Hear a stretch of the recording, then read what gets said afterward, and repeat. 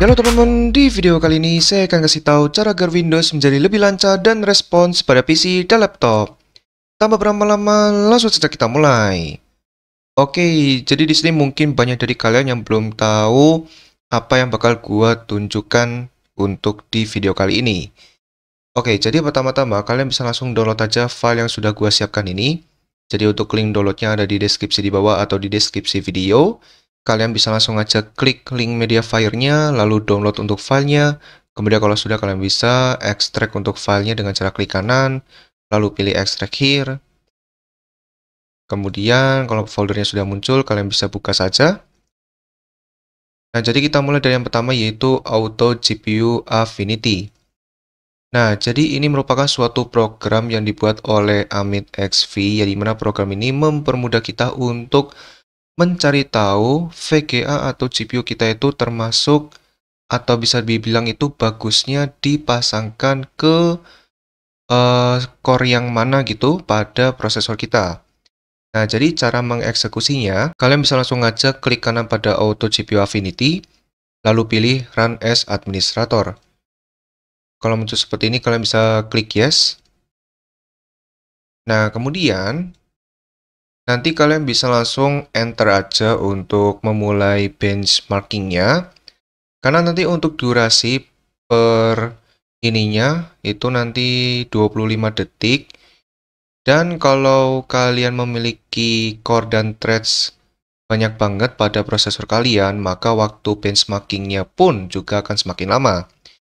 Karena tadi gue sudah sempat coba untuk benchmarking, dan untuk total waktunya itu adalah 9 menit. 9 atau 6 menit gitu.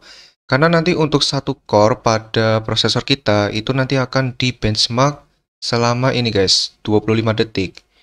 Jadi pokoknya kalian tunggu aja sampai benchmarkingnya selesai setelah kalian enter untuk memulai benchmarking. Dan nanti untuk proses benchmarking nanti kayak ada ini kayak apa namanya black screen dulu, terus nanti bakal muncul program kalau nggak salah bernamakan Lava Triangle. Jadi nanti ada gambar segitiga warna biru, hijau, merah kalau nggak salah. Terus nanti itu bakal kebuka selama 25 detik dan nanti bakal buka lagi dan seterusnya. Jadi nanti kalau kalian sudah selesai melakukan benchmarking, nanti kalian bakal mendapatkan sebuah hasil kurang lebih seperti ini. Nah, jadi ini untuk um, hasilnya ketika kalian nanti sudah selesai benchmarking. Nah, jadi seperti yang kalian lihat di sini bahwa CPU gua itu kan sampai ini ya, 6 core 12 thread. Jadi CPU gua itu sampai 11. Nah, ini kalau kalian bisa lihat ini ada yang warnanya hijau dan warnanya kuning. Nah, untuk yang warna kuning ini gua masih nggak tahu.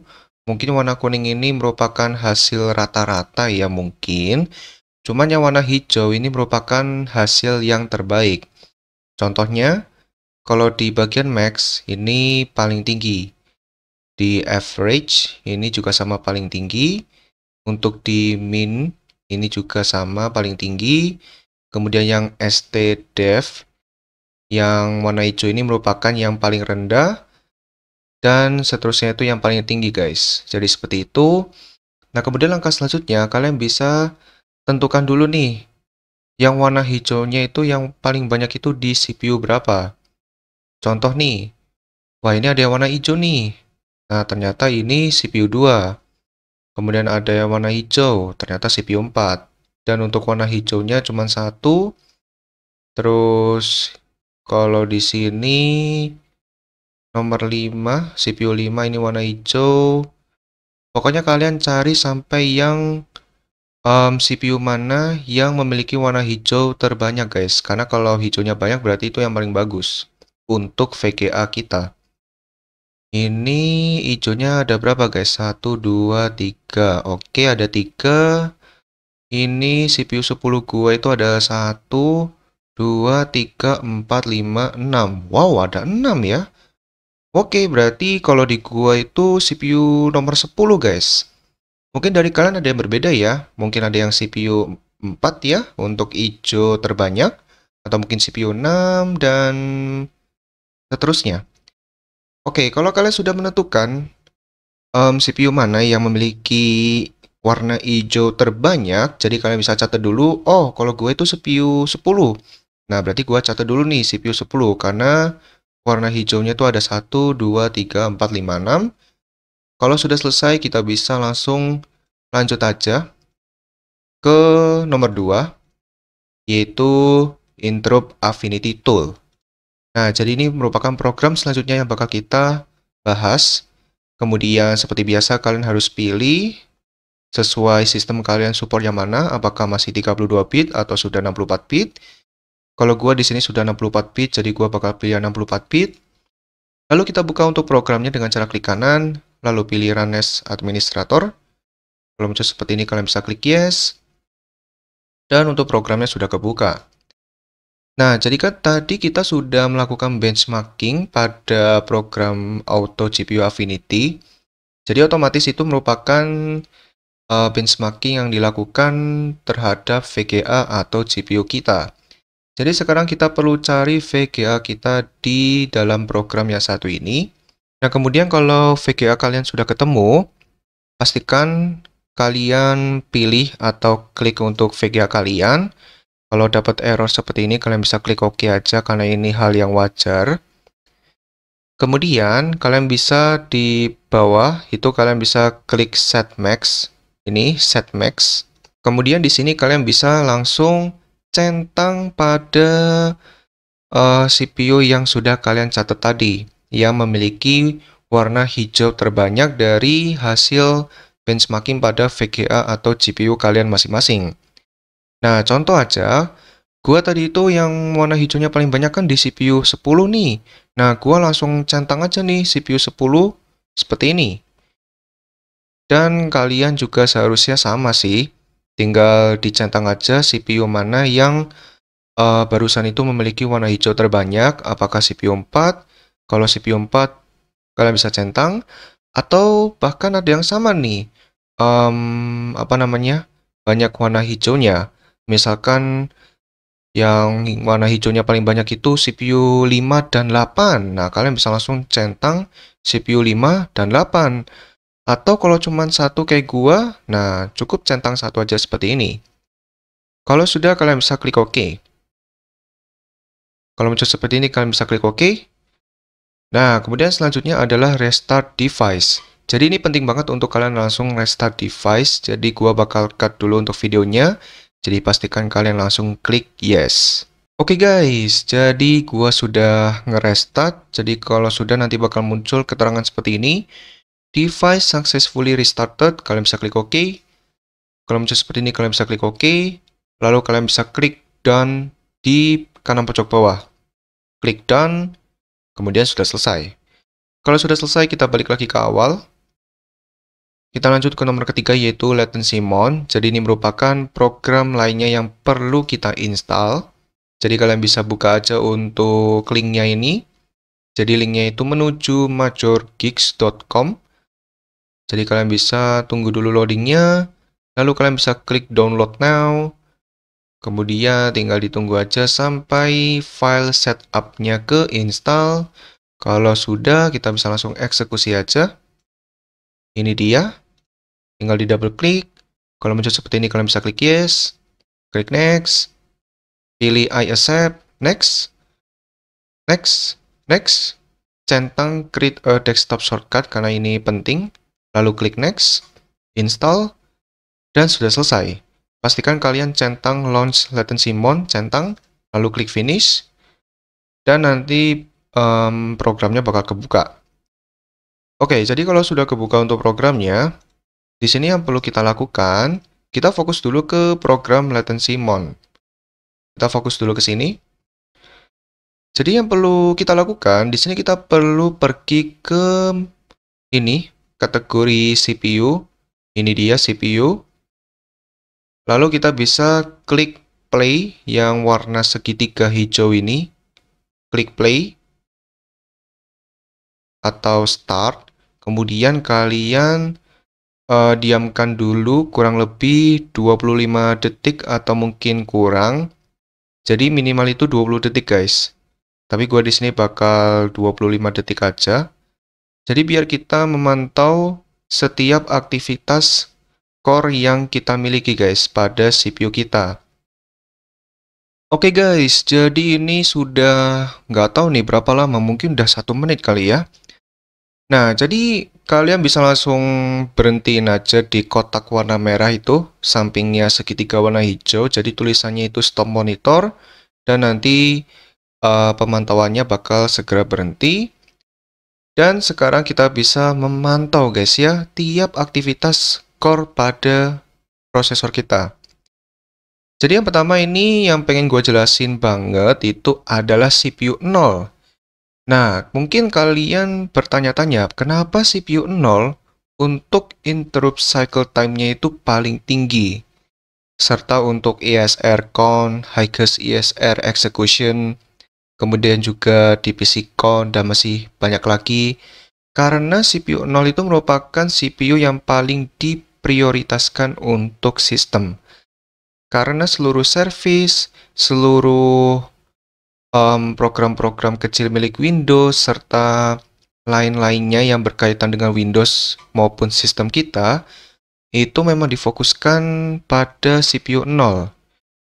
Jadi itulah mengapa kita harus mengubah beberapa koneksi atau pemasangan VGA, kemudian USB kita, itu agar tidak dipasangkan oleh CPU 0, melainkan CPU lain yang um, jauh lebih rendah untuk ISR-nya, DPC-nya, kemudian untuk interrupt cycle time-nya. Jadi seperti itu. Nah, kemudian langkah selanjutnya, di sini kita perlu cari nominal atau mungkin angka yang paling rendah di bagian interrupt cycle time. Jadi kita cari yang paling rendah, guys. Jadi di sini ini kalau di punya gue itu semuanya 0,1, ini ada 0,08, 0,09. Kayaknya yang paling rendah 0,08. Tapi ini ada 89, 87, 83, 830, ini 836. Oke, jadi kalau gue sudah ketemu yaitu CPU 7. Mungkin dari kalian ada yang berbeda ya, mungkin CPU berapa gitu. Kemudian pastikan untuk ISR count juga sama, mungkin angkanya 0. Lalu untuk highest ISR execution pun juga sama, pastikan rendah juga. Meskipun di sini untuk yang paling rendah itu CPU 11, karena CPU 11 itu highest ISR execution-nya itu adalah 22, sedangkan CPU 7 gue itu 35, tapi it's okay, nggak apa-apa. Yang penting untuk interrupt cycle time-nya paling rendah guys, gitu. Dan juga untuk ESR count. Lalu untuk DPC atau DBC count juga sama, pastikan dia itu pokoknya paling rendah guys. Atau di 0,0 gitu, atau mungkin paling rendah. Serta untuk highest DPC execution. Jadi mana kalau di CPU 7 gua itu mencapai 0, 01 ya, mungkin ini belum paling rendah karena masih ada yang lain seperti di pantauan gue itu ada CPU 5 dan 6 yang di mana mendapatkan 0,00 guys.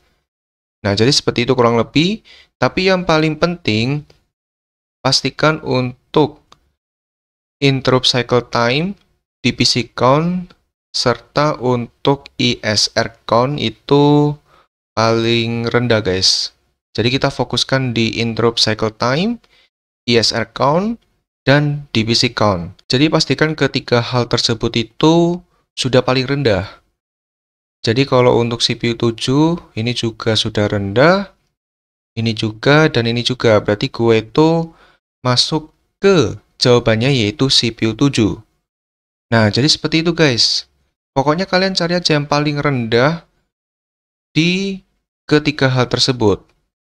Jadi gua ulangin sekali lagi, cari CPU yang nominal atau angkanya itu rendah di bagian interrupt cycle time, ESR count, dan DPC count. Pokoknya cari aja. Kalau semisal interrupt cycle time dan ESR count itu termasuk paling rendah, tapi DPC count-nya dia itu tidak di paling rendah, itu nggak masalah. Yang penting 2 banding 1. Jadi seperti itu. Kalau gua CPU 7. Jadi gua sudah ketemu yaitu CPU 7. Kemudian selanjutnya kita balik lagi ke filenya. Kita buka lagi untuk program Interrupt Affinity Tool.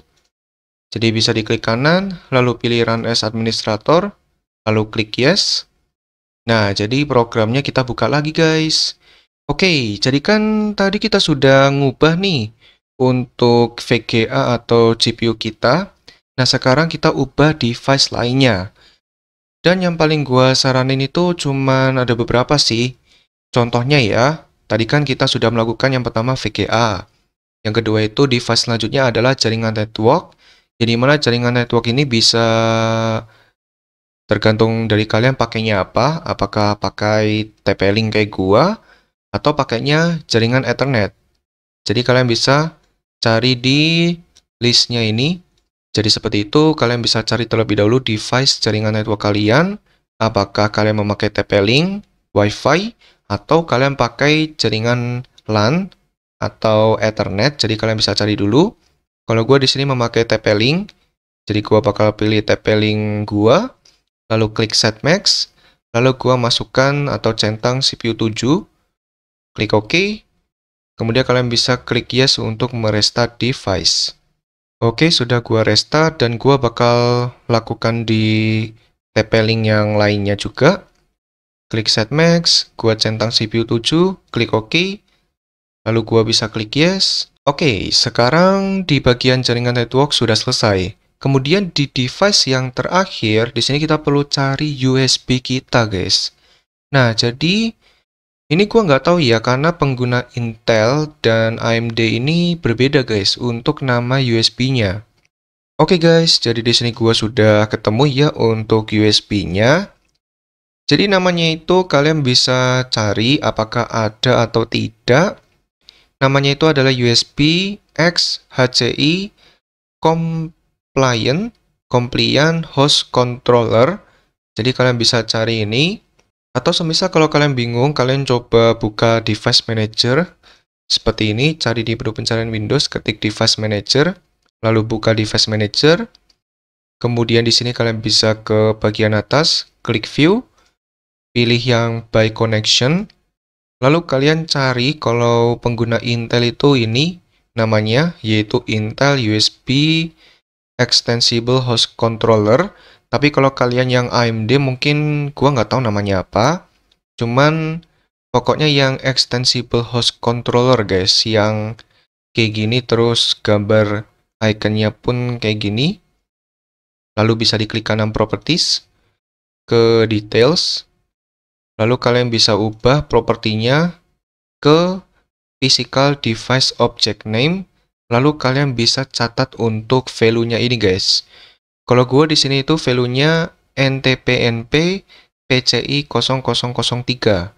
Nah, pastikan ini sudah sama dengan um, device yang kalian temukan di program Interrupt Affinity Tool. Jadi ini dia. Jadi kalian bisa cek aja di bagian bawah. Ini dia di bagian dev obj name. Pastikan sudah sama. Jadi ya seperti itu kurang lebih sedikit informasi. Nah kalau kalian semisal sudah ketemu, Kalian bisa langsung aja pilih aja untuk USB X HCI Compliant Host Controller. Kemudian kalau muncul seperti ini kalian bisa klik OK. Lalu klik Set Max.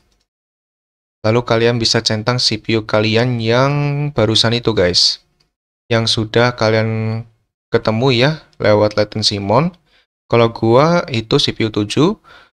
Kalau sudah kalian bisa klik OK. Lalu klik OK. Lalu kalian bisa klik yes untuk merestart device langsung. Oke, jadi di sini ketika gua klik yes, ternyata device nggak bisa di restart, tapi memang untuk perubahannya itu akan um, mengeluarkan efek baru ketika kita merestart komputer kita. Jadi kalau sudah seperti ini kalian bisa klik OK, klik OK, lalu klik done di kanan pojok bawah. Pastikan sudah kecentang, klik done, dan sudah selesai. Jadi kalau sudah selesai, kalian bisa langsung restart aja PC atau laptop kalian biar seluruh perubahan pada um, seluruhnya tadi itu akan mengeluarkan efek baru dan semoga Windows kalian itu menjadi lebih lancar dan respons karena satu beban CPU nolnya itu dikurangin guys karena kalau semakin banyak interrupt serta koneksi pada CPU 0 kita, maka sistem pun juga akan semakin repot dan pusing guys. Makanya dari itu, Ya, semoga Windows kalian itu lebih lancar dan respons ya, oke? Okay? Oke, jadi video tentang cara agar Windows menjadi lebih lancar dan respons pada PC atau Samsung dulu. Semoga video ini bermanfaat teman-teman. Jika bermanfaat, jangan lupa subscribe, like, dan share video ini. Dan terima kasih kepada yang sudah subscribe ya, oke? Okay? Oke, video sampai sini dulu. Ditunggu video ya. Dadah!